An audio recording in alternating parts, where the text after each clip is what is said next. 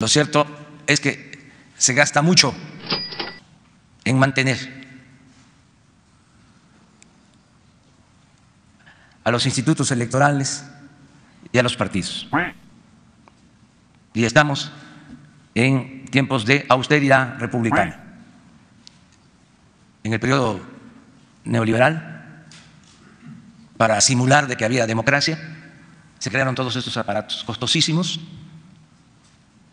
y servían nada más de parapeto, como la Comisión de Derechos Humanos, que nunca este, vio nada sobre las violaciones graves de los derechos humanos, o el Instituto de la Transparencia, que nunca vio nada sobre la corrupción.